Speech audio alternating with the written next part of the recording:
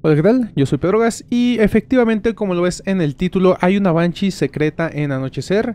De hecho, esta Banshee es contenido eliminado. Originalmente en este nivel iban a aparecer dos de ellas. Afortunadamente, con una serie de trucos podemos pilotarla. Este es un nuevo formato de videos en el cual voy a experimentar un poco para poderte mostrar todos los vehículos que puedes pilotar que no deberías hacer. Pero bueno, no hay mucho que decir, simplemente esta Banshee aparece al inicio del nivel unos cuantos segundos después de que nosotros entramos la puedes ver caer del mapa e irse directamente al vacío. Esto no es mod, esto lo puedes ver tanto en la versión original de Xbox 360 como en la Master Chief Collection. Este gameplay está grabado en la versión de Xbox 360, en la versión retrocompatible. El hecho es de que en la Master Chief Collection no puedes llegar a esta Banshee en solitario. Más adelante te voy a explicar bien por qué, Iniciando el nivel vamos a hacerlo de manera normal, estoy jugando en dificultad fácil, vamos a hacer los saltos granadas clásicos, ya sabes que esto no es forzosamente necesario que lo hagas, yo soy speedrunner profesional y conozco todos estos atajos y pues sabes que me gusta flexear en los videos. Entonces hacemos los saltos granadas, los golpes de los gutas y todo esto para poder llegar a la parte donde está la central eléctrica. Aquí vamos a agarrar este bloqueo de armadura. Es importante agarrar este bloqueo de armadura. Vamos a hacer el truco del carrito. Ya sabes que yo soy un experto en este truco, ya hice una guía de cómo hacerlo. Y una vez llegamos de este lado, tenemos una cantidad considerable de tiempo para hacer todo el setup. Vamos a acarrear el sprint y lo vamos a tirar al vacío de esa manera, efectivamente. Y una vez cae, vamos a irnos por este lado. Vamos a hacer un poco de saltos aquí en estas piedras y vamos a caer arriba del Phantom. Importante, aquí vas a esperar unos 20 segundos aproximadamente hasta que el Phantom se empiece a mover. Una vez el Phantom llega aquí arriba, te vas a colocar en la punta y vas a esperar a que se empiece a mover. Justo en cuanto se empiece a mover, tú vas a tirar el bloqueo de armadura. Necesitas buenos reflejos para esto. Si no lo haces bien, te vas a caer del Phantom. Una vez termine el bloqueo de armadura, vamos a seguir en esta sección, nos vamos a colocar aquí y vamos a esperar a que vuelva a cargar y se vuelva a mover el Phantom porque vamos a atravesar otra barrera elástica. Ya sabes que ya expliqué lo que es una barrera elástica en un video pasado, te lo dejo en la etiqueta. En esta ocasión vamos a cancelar el bloqueo de armadura a mitad del vuelo. Esto es para poder caer arriba de esta colina. A veces pierdes más vida, a veces no pierdes tanta. Simplemente espera que se carguen tus escudos y recibirás un checkpoint. Y vamos a usar este checkpoint para caer sin morir. Ya sabes, el truco de la inmortalidad del checkpoint. ¿Ves cómo todo lo que te explico en videos anteriores se une para poder hacer trucos tú mismo? ¡Hombre! Todo esto está planeado, está planeado. Pero bueno, vamos a venir por este lado, vamos a caernos. Cuando estés en la colina no te muevas mucho a la izquierda porque si no vas a entrar a la zona letal, asegúrate de caer y ahora eres libre de explorar el mapa.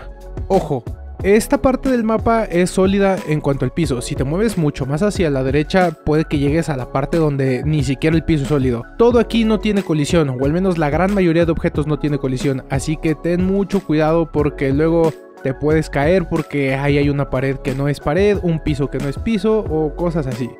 Vamos a venir por este lado y ¿recuerdas el sprintar? Bueno, vamos a buscarlo porque debió de haber caído más o menos por aquí. Cuando llegues al puente ponte a buscar el sprintar, debe estar más o menos por esta zona del puente. ¿Por qué? Porque pues por ahí arriba es de donde aventamos el sprintar. Tenemos que buscarlo porque créeme que caminar hacia la Banshee es horrible. Si ves que no está, entra al río y puede que lo encuentres. Aquí yo lo encontré muy fácilmente, como puedes ver no hay pierde, y en cuanto traemos el sprintar podemos avanzar aún más rápido hacia la Banshee.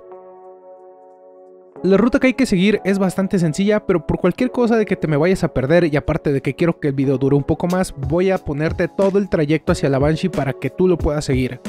Lo que vamos a hacer ahora es movernos río arriba. Como puedes ver, la textura del agua y su animación es bastante delgada, entonces simplemente no tengas miedo, métete debajo de ella y empieza a caminar porque tienes que ir sobre el río.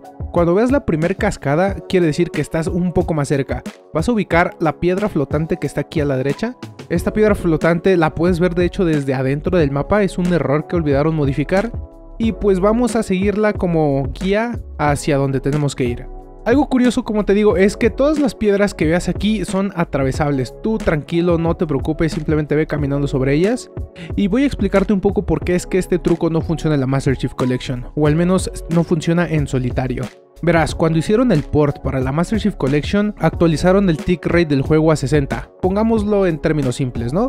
No es que vaya a 60 cuadros, sino que el juego piensa el doble de rápido. Ahora, como el juego checa el doble de rápido las situaciones en las que el jugador se encuentra cuando te colocas arriba de un Phantom y este se empieza a mover, no te quedas parado en él. De hecho, creo que lo puedes ver en algunos mapas de multijugador como es Reflection con los elevadores, entonces básicamente ya no puedes quedarte parado sobre cosas que se estén moviendo. Y esa es en resumen la razón por la cual ya no se puede hacer este truco. Pero hay métodos para hacerlo en multijugador que todavía funcionan. Como ves, simplemente vamos a seguir sprintando por el lado derecho y cuando atravesemos esa pared en esta zona va a estar la Banshee, búscala, a veces está en diferentes zonas, pero es en esta área en general. Y en cuanto tengas la Banshee eres libre de explorar el mapa. Como puedes ver yo me puedo ir hasta la parte donde están estas estructuras y atravesarlas porque como ves no tienen colisión. También podemos movernos alrededor del mapa hasta el fin de él, hasta donde las texturas te permitan ver y vas a ir aún más allá. Debes de tener en cuenta que una vez pasas la zona de las texturas, si vas mucho más adelante puedes morir porque vas a chocar con el límite del mapa, que es una barrera invisible. Y un dato que debes de tener en cuenta es que después de unos cuantos minutos, si estás muy lejos de la zona de la central eléctrica, el juego te va a teletransportar de regreso. Así que si no quieres que esto ocurra, mantente cerca de esa zona mientras carga y una vez lo realiza ya puedes explorar el mapa sin ningún problema. Muchas gracias por ver el video, recuerda que puedes suscribirte para apoyar mi contenido y si te gusta el contenido de Halo sobre cosas, trucos, glitches en las campañas que nadie más conoce, puedes checar mi lista de reproducción con más videos de ese estilo.